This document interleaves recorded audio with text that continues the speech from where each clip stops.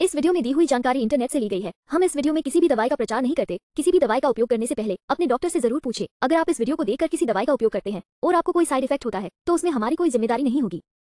बच्चों के लिए बोनेयू आंवला ऑल नेचुरल गमीज को विटामिन सी सप्लीमेंट के रूप में इस्तेमाल किया जा सकता है। ये प्रतिरक्षा में सुधार और सामान्य सर्दी और खांसी की रोकथाम में सहायता करता है।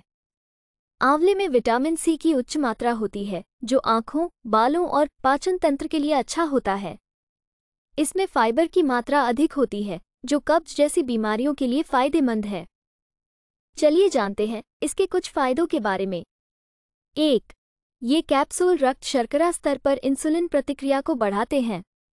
दो, वे आँखों के स्वास्थ्य को भी बढ़ाते हैं और आँखों में खुजली और पानी आने से रोकते हैं। तीन आंवला एंटी इन्फ्लेमेटरी गुणों से भरपूर होता है, जो दर्द और सूजन में राहत देता है। चार, आंवला बालों को समय से पहले सफ़ेद होने से रोकता है और त्वचा को पोषण और हाइड्रेट भी करता है।